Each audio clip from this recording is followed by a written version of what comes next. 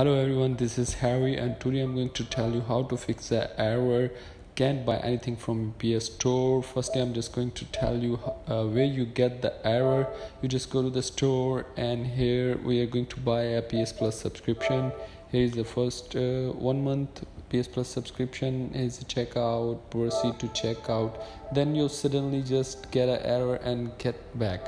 So you just go to the uh, settings now i'm going to tell you how to fix this up. Uh, the account management here is account information. Just tap on the account information and wait. Here you get this and go to the wallet a third option.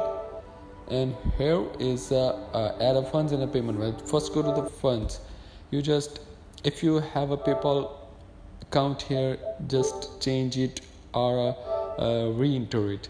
And if you have a cc number then uh, then you change your account number cc number and if you can use a different one or if you use the same again delete and enter again.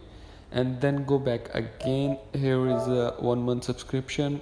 Just we are going to subscribe uh, proceed to checkout here is the accept.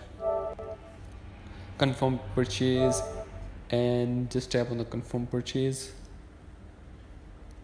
Uh, look at that. Welcome to the ps plus extra one month.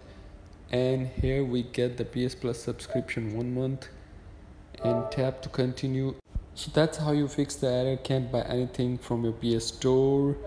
Uh, if you have any, any question then ask me just in the comment box